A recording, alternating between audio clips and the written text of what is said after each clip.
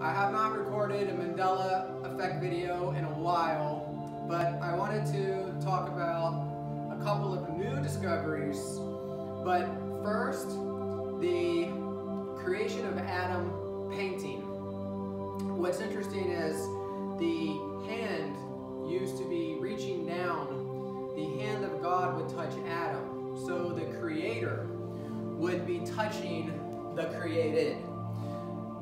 It's been reversed now. But what I would like to show you guys is a painting on the ceiling because from certain angles, it creates an illusion that the hands are going back and forth. Um, so if you look up here at the creation of Adam, so you can see the hand of God appears lower from that angle. But as you go around it, it changes. From this angle, it's not really as noticeable until you turn the camera. So, I have, if you take the camera, yeah, I have uh, a couple of new Mandela effects that I want to share with everybody. But I found some pictures, reality residue, hundreds of images showing the creation of Adam the way that it once was.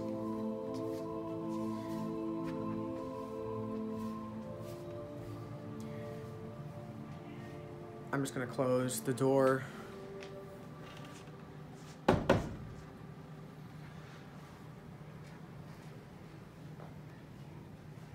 It seems that all the Mandela effect changes are symbolic in some way. It's like a deeper rooted meaning to it.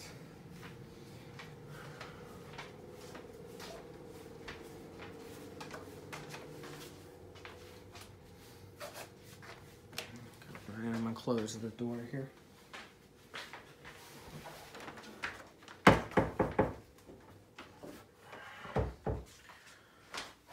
Okay, so I made a video probably three years and a half, three and a half years ago, and I showed um, reality residue of this. So it's not a new Mandela effect per se. Um, there's hundreds of these images. Let's just flip through a few of them. Can you see the monitor okay? So on my laptop here, each one of these images, the reenactment, shows God's hand higher than the subject.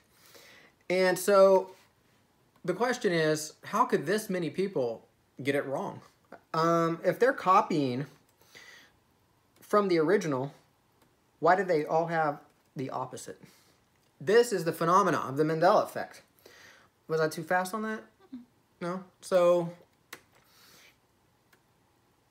there are numerous images showing this, the way that thousands of people remember it once was, including tattoos, which are permanently inked into people's skin, yet they got it wrong.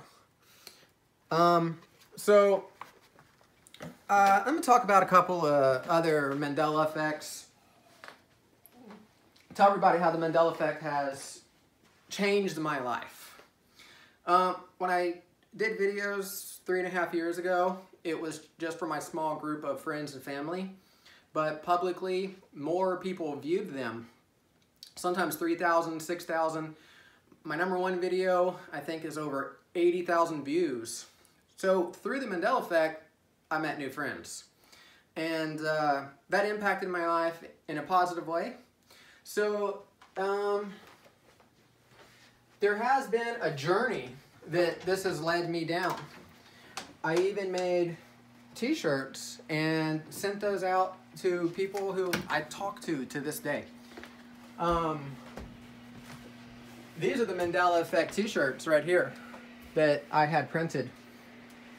I was one of the first, maybe the first person to do a Mandela Effect t-shirt. And I still keep making discoveries today. Um, but I actually met my significant other, uh, and through my spouse, we're now a family. Um, I have a beautiful baby. This is my family. And I have the Mandela effect to owe for that. If I had not known about this phenomena, I would have not met my significant other, who's recording me right now. Thank you, Sabrina. She's doing a great job, everybody. Round of applause for Sabrina. So, I want to share some new Mandela effects at least they're new to me with everybody. Um, this is the exciting part, is hearing about one that we've never heard before. So anyways, for censorship purposes, I don't want to say this individual's name because YouTube is um, pretty glitchy.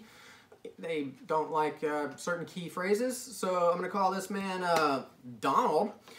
Uh, and let me just show you an image here of Donald right here, he has his um, miniature-sized doll replica of himself. My question to everybody is, who remembers what color hair Mr. Donald had?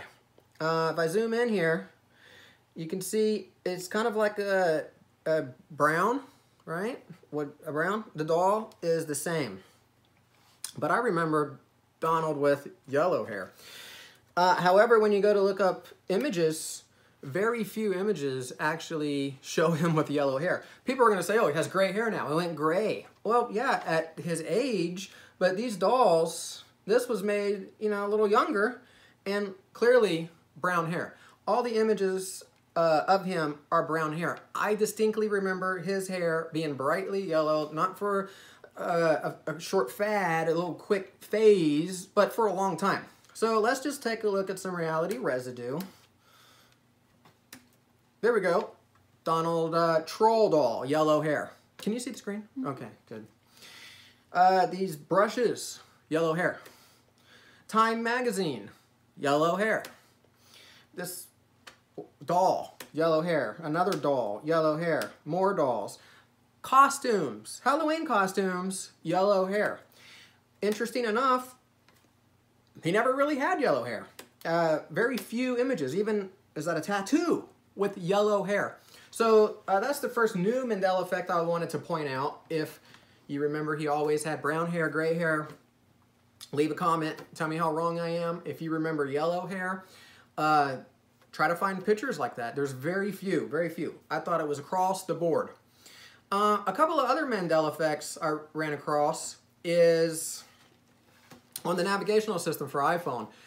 I used to say, find a restaurant near me and it would say restaurants, right? And give me a list. Now it's nearby. Find a restaurant nearby. That's what it recognizes. It's not near me anymore. So if you're an iPhone user uh, and you're familiar with maps, check that out. Do you remember near me or nearby? And then um, the last Mandela effect I'll mention in this video to restrict the time a little shorter, make it easier for me to upload, uh, is Married with Children. Uh, the phenomena there is in the opening song, Love and marriage go together like a horse and carriage. That's how I remember love and marriage. Um, well, now it says love and a marriage, love and a marriage, a marriage. Never heard that before.